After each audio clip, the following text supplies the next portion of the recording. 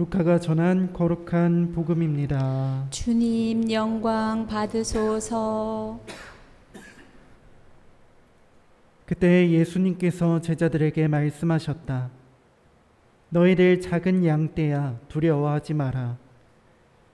너희 아버지께서는 그 나라를 너희에게 기꺼이 주기로 하셨다. 너희는 가진 것을 팔아 자선을 베풀어라. 너희 자신을 위하여 해치지 않는 돈주머니와 축나지 않는 보물을 하늘에 마련하여라. 거기에는 도둑이 다가가지도 못하고 좀이 쏠지도 못한다. 사실 너희의 보물이 있는 곳에 너희의 마음도 있다. 너희는 허리에 띠를 메고 등불을 켜놓고 있어라. 혼인잔치에서 돌아오는 주인이 도착하여 문을 두드리면 곧바로 열어주려고 기다리는 사람처럼 되어라. 행복하여라. 주인이 와서 볼 때에 깨어있는 종들. 내가 진실로 너희에게 말한다. 그 주인은 띠를 메고 그들을 식탁에 앉게 한 다음 그들 곁으로 가서 시중을 들 것이다. 주인이 밤중에 오든 새벽에 오든 종들의 그러한 모습을 보게 되면 그 종들은 행복하다. 이것을 명심하여라. 도둑이 몇 시에 올지 집주인이 알면 자기 집을 뚫고 들어오도록 내버려 두지 않을 것이다. 너희도 준비하고 있어라. 너희가 생각하지도 않은 때에 사람의 아들이 올 것이다. 베드로가 주님, 이 비유를 저희에게 말씀하시는 것입니까? 아니면 다른 모든 사람에게도 말씀하시는 것입니까? 하고 물었다. 그러자 주님께서 이르셨다. 주인이 자기 집 종들을 맡겨 제때에 정해진 양식을 내주게 할 충실하고 슬기로운 집사는 어떻게 하는 사람이겠느냐? 행복하여라. 주인이 돌아와서 볼 때에 그렇게 일하고 있는 종. 내가 참으로 너희에게 말한다. 주인은 자기의 모든 재산을 그에게 맡길 것이다. 그러나 만일 그 종이 마음속으로 주인이 늦게 오는구나 하고 생각하며 하인들과 하녀들을 때리고 또 먹고 마시며 술에 취하기 시작하면 예상하지 못한 날, 짐작하지 못한 시간에 그 종의 주인이 와서 그를 처단하여 불충실한 자들과 같은 운명을 겪게 할 것이다. 주인의 뜻을 알고도 아무런 준비를 하지 않았거나 주인의 뜻대로 하지 않은 그 종은 매를 많이 맞을 것이다. 그러나 주인의 뜻을 모르고서 매맞을 짓을 한 종은 적게 맞을 것이다. 많이 주신 사람에게는 많이 요구하고 많이 맡기신 사람에게는 그만큼 더 청구하신다. 주님의 말씀입니다. 그리스도님 참미합니다. 모두 앉으십시오. 찬미 예수님, 오늘 예수님께서는 깨어 있어라 말씀을 해주십니다. 우리가 이 말씀에 대해서 많이 묵상을 했으니까 오늘은 조금 더 깊이 있게 또 다른 관점에서 말씀을 묵상해 보도록 합시다. 왜 깨어 있어라고 말씀을 하실까? 이 말씀은 그만큼 깨어 있지 않으면 나중에 벌을 받을 것이다라고 하는 공포를 주장하는 말씀이 아니라 사실 희망을 주시는 말씀입니다. 우리가 깨어 기다렸을 때 주인이 오면 그 주인이 우리에게 얼마나 행복을 가져다 주고 기쁨을 가져다 주는지를 알게 되면 자연스럽게 우리는 깨어 있지 않을 수 없을 것입니다. 그런데 깨어 있지 못하는 사람들이 있다는 말씀은 깨어 있도록 할 수 있는 그 어떤 것을 모르기 때문이다라는 생각을 하게 합니다. 도대체 깨어 있지 않는 사람들은 왜 깨어 있지 않을까요? 첫 번째로는 깨어 있을 필요를 잘 못 느끼지 않겠습니까? 즉 기다리는 주인이 어떤 분인지 그분이 오시면 얼마나 행복한지를 모르니 기다리고 싶지 않는 사람이 내가 기다려야만 하는 사람이라면 의무적으로 해야 되는 일에 있어서 우리는 항상 마음이 내키지 않습니다. 그러면 자연히 하고 싶지 않은 일을 억지로 하게 되면 마음속에는 깨어 있지 못하고 늘 졸음이 오기에 마련인 것이죠. 그러니 우리에게 있어서 굉장히 중요한 것은 하나님께서 얼마나 좋으신 분인지 그것을 잘 알고 있어야 한다는 얘기입니다. 모르니 우리는 졸기도 하고 때로는 자기도 합니다. 우리가 그 고속도로를 달리면서 이렇게 갑자기 졸다고 해봅시다. 순간적으로 깜짝 놀라서 정신을 차리다 보면 큰일 날 뻔했네 라고 한숨을 쉬면서 절대 졸지 않으려고 노력할 것입니다. 그래서 휴게실에서 잠시 휴식을 취한다든지 아니면은 창문을 열고 환기를 시킨다든지 찬물을 먹거나 뭔가를 껌을 씹으면서 졸음을 쫓으려고 노력할 것입니다. 그것은 내가 만약에 존다면 생명을 잃어버릴 것이라고 하는 큰 위험을 인식했기 때문에 그렇죠.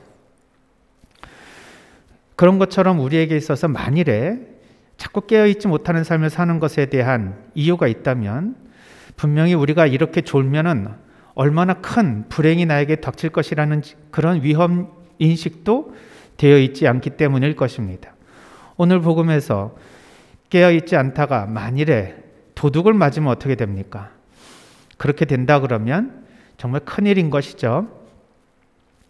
그런 것처럼 우리도 잠을 자다가 도둑이 어느 순간 어, 우리가 가지고 지키고 있는 것을 빼앗아 갈지도 모른다라는 그런 위험 인식을 제대로 하지 않으면 우리는 졸게 마련입니다. 그러나 그것보다도 더 중요한 것은 우리가 깨어 있어서 오게 될 기쁨을 우리가 알지 못하기 때문입니다. 도둑이 우리에게 얼마나 큰 피해를 줄 것인가에 대한 인식보다도 우리에게 주인은 얼마나 큰 행복을 가져다 주시는 분인지를 알지 못하니 기다리기가 어려운 것입니다. 사실 우리가 영적인 삶, 우리가 하느님 안에서 산다는 것이 얼마나 중요한 일이고 얼마나 행복한 일인지를 잘 모릅니다. 우리가 세속에 빠져서 우리가 잠을 자게 되면 결국 우리가 잃어버릴 것이 어떤 것인지에 대한 위험 요소도 모릅니다.